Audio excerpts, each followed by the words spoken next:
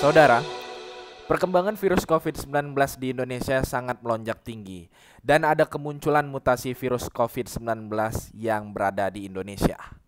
Sekarang saya sudah terhubung via Zoom bersama Ibu Sri Mulinawati yang berpengalaman di bidang kesehatan.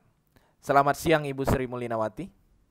Selamat siang, Assalamualaikum warahmatullahi wabarakatuh. Ya, bisakah Ibu menjelaskan bahwa apakah anak kecil bisa terkena dampak virus COVID-19? Baik, Eh, mengenai anak kecil apakah dapat berdampak COVID-19? COVID-19 penyebarannya di segala umur, jadi itu dapat tertular pada anak kecil, dewasa, dan orang tua. Jadi semua faktor umur semuanya dapat terkena COVID-19. Saat ini eh, pemerintah mempunyai aturan bahwa eh, belajar di rumah untuk mencegah penularan virus corona pada anak-anak. Beberapa eh, ikatan Indonesia, dokter ikatan Indonesia mengatakan bahwa anak-anak bahkan balita ya yang pada saat ini akan dibuka eh, mulai masuk sekolah pada bulan Juli itu sebenarnya besar eh, dampak yang akan ataupun risiko yang akan eh, kita alami karena eh, mulainya seluruh Indonesia akan kembali sekolah seperti semula. Wa- eh, COVID-19 ini eh, dari UNICEF juga penelitian mengatakan bahwa eh, pada anak-anak itu biasanya lebih kecil hasil penelitian kecil dampaknya penularan COVID-19 ini dibanding orang dewasa dan anak-anak. Di Indonesia eh, pada rumah eh, sakit tempat saya bekerja pun eh, surveinya mengatakan bahwa eh, pada anak-anak itu eh, resiko COVID-19 itu eh, terkena tapi dampaknya lebih sedikit dibandingkan orang dewasa dan juga orang tua. Oke, baik Ibu Lina. Nah, eh setelah saya lihat di berita-berita, virus COVID-19 ini menyebar melalui udara, melalui air liur, melalui apa pun itu yang bisa bersentuhan dengan tubuh kita. Apakah benar virus COVID-19 bisa melalui udara, bisa melalui sentuhan tangan? Apakah hanya lewat air liur saja? Jadi begini, eh, COVID-19 ini dapat ditularkan melalui droplet. Ya, kalau droplet katanya itu yaitu eh, dari kita berbicara, batuk, eh, bernyanyi. Nah, droplet itu adalah mengeluarkan cairan cipratan dari mulut ataupun hidung. Cairan yang keluar dari mulut atau hidung itu yang eh, bertebaran di udara dan itu dapat menyebabkan menular bagi orang uh, lawan bicara yang tidak memakai masker dan tidak menjaga jarak.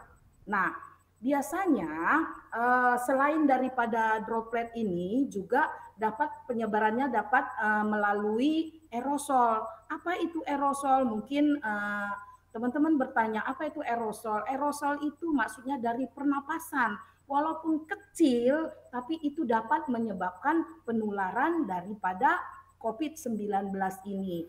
Jadi uh, perlu dipahami sama semuanya bahwa uh, protokol kesehatan itu benar-benar harus dikerjakan untuk menghindari terjadinya droplet maupun uh, aerosol daripada lawan bicara kita. Baik, Ibu Lina. Kenapa gejala virus corona banyak dan sulit dideteksi? Eh, sebenarnya saat ini eh, di dalam penelitian sebenarnya dilakukan penelitian dampak daripada uh, resiko COVID uh, corona ini COVID-19 ini di dalam tubuh kita. Tapi sebenarnya dampaknya itu pada setiap orang itu berbeda-beda. Sebenarnya dampak daripada COVID-19 ini dia punya gejala tapi bagi orang uh, ada uh, seseorang misalnya dia positif, contoh nih ya, positif COVID-19, tapi dia tidak punya gejala. Itu yang terjadi banyak di uh, masyarakat kita. Jadi dia merasa dirinya sehat, tapi pada saat diperiksakan di PCR ataupun di antigen gitu ya, itu tahu-tahu dia positif, dia merasa tidak punya gejala, benar. Dan itu pada masyarakat kita dinamakan adalah OTG. OTG itu adalah orang tanpa gejala. Cuman gejala daripada COVID-19 uh, eh, ini emang berbeda-beda pada tiap uh, orang yang terkena. Tapi gejala itu bisa dilihat uh, biasanya dia ada suam, ada pilek, ada batuk, ada pusing, ada sakit pada tubuhnya. Jadi dampak ini tidak semua ada pada seseorang yang terkena COVID-19, tapi kita bisa lihat dari pada gejala-gejala uh, tersebut. Dan ada juga dia panas. Nah, uh, kalau keadaannya semakin uh, uh, memburuk, itu biasanya akan terserang saluran pernapasan. Seseorang yang terkena COVID-19 itu akan uh, uh, sesak sehingga itu yang dapat menyebabkan lebih uh, parah uh, pada saat terkena COVID-19 ini. Baik Ibu Lina, apakah di era sekarang new normal yang masih ada virus COVID-19, kita sebagai manusia untuk mendonorkan darah kepada orang yang membutuhkan? Ya, uh, mendonorkan darah itu hal yang baik ya eh, dan tidak dilarang. Cuman pada saat uh, sekarang ini uh, masyarakat kita agak enggan untuk melakukan donor darah tadi karena dampak daripada takutnya tertular daripada COVID-19. Salah satu dari protokol kesehatan itu tadi kan kita itu hindari keluar dari rumah, terus hindari berkerumun di orang banyak. Itu saat ini yang dilakukan oleh masyarakat uh, uh, kita sendiri. Tapi sebenarnya donor darah itu boleh dikerjakan asal lakukan dengan prokes. Ada kisi-kisinya atau tip-tipnya. Saat mendonorkan darah perlu diketahui tip-tipnya nih. Kita mendonorkan darah itu pada saat tubuh kita dalam keadaan sehat atau fit ya.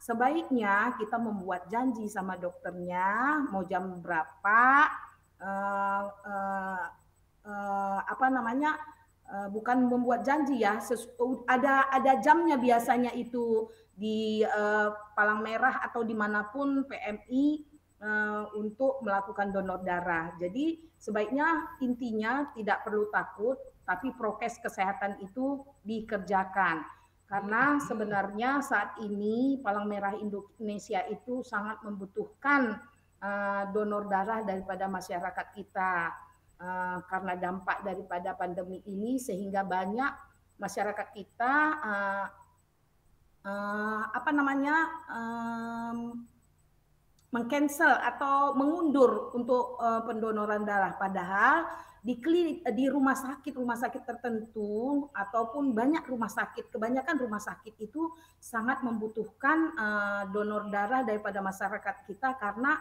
minimnya persediaan di PMI hingga uh, saat ini banyak uh, ini dampak daripada donor darah tadi ya. Sehingga banyak pasien-pasien yang ingin melakukan tindakan-tindakan yang membutuhkan darah terpaksa keluarganya dicari yang sama uh, golongan darahnya untuk mendonorkan darah untuk persiapan uh, pasien itu sendiri untuk melakukan suatu tindakan contohnya tindakan operasi. Baik Ibu Lina. Semenjak virus COVID-19 menyerang Indonesia, bolehkah ke dokter gigi di saat pandemi? Karena yang tadi Ibu Lina bilang bahwa virus COVID-19 ini menyebar lewat droplet atau enggak aerosol. Bisa dijelaskan Ibu Lina? Betul.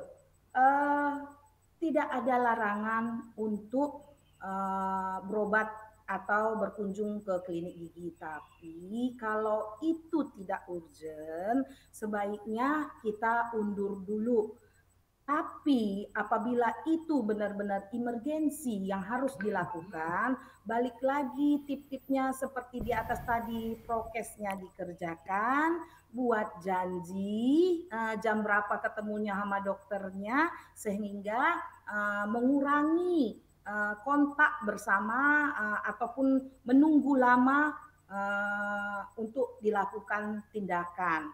Perlu diketahui juga sebenarnya riskan banget. Uh, seperti saya bilang tadi berdasarkan daripada droplet, aerosol yang lama-lama di udara bertahan 4 jam, akhirnya jatuh tuh virusnya kenalah di misalnya di tempat-tempat benda-benda sehingga pada saat kita uh, sentuh tanpa sadar benda itu kita tidak sadar terkadang di bagian wajah kita ini sebenarnya itu adalah tempat-tempat yang sangat riskan untuk tertularnya uh, COVID-19 ini tadi contohnya di mata, hidung dan mulut. Tanpa sadar biasanya kita itu tanpa cuci tangan misalnya ya, kita udah habis megang apa, alat-alat di sekitar kita tanpa sadar gatel, kucek mata, uh, pegang hidung, pegang mulut, itu adalah dampak paling besar uh, tertularnya COVID-19 itu. Baik, Ibu Lina, pertanyaan terakhir untuk Ibu Lina. Presiden dan pemerintahan Indonesia sudah berupaya untuk meredakan virus COVID-19 dengan adanya uh, penyuplaian vaksin dari beberapa negara yaitu ada vaksin Astra dan vaksin Sinovac. Seberapa fungsi vaksin tersebut untuk tubuh manusia agar tidak terkena virus COVID-19? Betul sekali ya, saat ini dengan gencar-gencarnya pemerintah melakukan vaksinasi untuk masyarakat Indonesia uh, untuk menghindari uh, dampak daripada tertularnya COVID-19 ini. Perlu diketahui bahwa uh, vaksin ini digunakan setiap vaksin memiliki uh, efektivitasnya masing-masing ya, tergantung dari vaksin itu sendiri. Saat ini uh, kalau vaksin contoh nih di Indonesia itu kan vaksin yang saat ini uh, berjalan itu vaksin Sinovac sama vaksin AstraZeneca ya. Nah, walaupun vaksin uh, beberapa penelitian mengatakan bahwa uh, vaksin Sinovac ini uh, 65 persen uh, uh, keakuratannya. Tapi begitu juga vaksin Sinovac adalah vaksin yang terbanyak yang diberikan di Indonesia ini. Jadi benar kalau vaksin Sinovac 65 persen, bukan berarti uh, vaksin itu tidak bermanfaat. Tetap semuanya itu ada manfaatnya. Jadi untuk masyarakat uh, di Indonesia ini perlu diketahui bahwa kalau sudah vaksin, vaksin itu ada dua periode. Vaksin pertama dan vaksin kedua, di mana vaksin pertama diberikan dampak daripada masing-masing uh, uh, si penerima uh, uh, vaksinasinya itu pasti berbeda-beda. Uh, tapi perlu diketahui bahwa uh, bukan berarti setelah kita menerima vaksin pertama dan kedua itu kita sudah bebas dari COVID-19 tidak ya. Jadi justru uh, tetap setelah penyuntikan vaksin pertama di kita sebenarnya protokol kesehatan tetap dikerjakan hindari uh, keluar uh, rumah apabila tidak urgent. Begitu juga vaksin kedua. Vaksin kedua juga bukan berarti kita sudah suntik vaksin kedua kita bebas tidak perlu prokes, tetap prokes tetap dikerjakan. Bukan berarti kita sudah vaksinasi kita tidak tertular oleh COVID-19 karena sebenarnya dengan penyuntikan vaksin uh, imunisasi vaksin COVID-19 ini uh, dampaknya agar nantinya uh, gejala daripada COVID ini tidak lagi se uh, sebahaya atau seberat bagi orang-orang yang belum mendapatkan vaksin daripada 19.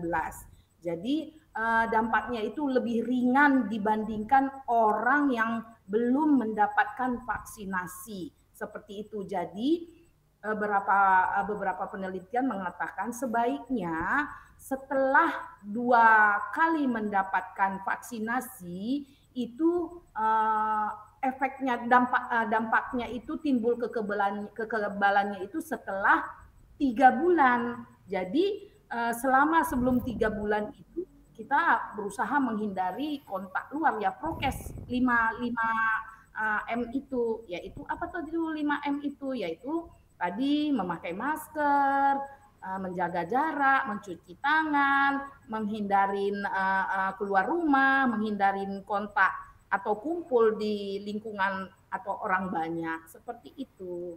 Baik, Ibu Lina. Berarti virus COVID-19 manusia ketika sudah divaksin belum bisa dinyatakan bebas dari COVID-19, begitu kan Ibu Lina ya?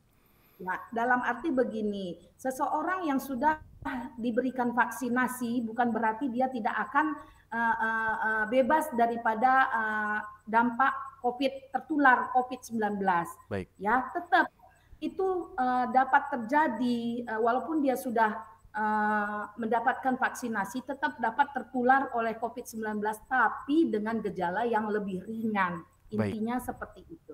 Baik, Ibu Lima, terima kasih atas penjelasan tentang virus COVID-19 dan mutasi-mutasinya. Saya Falah, pamit undur diri. Terima kasih. Terima kasih.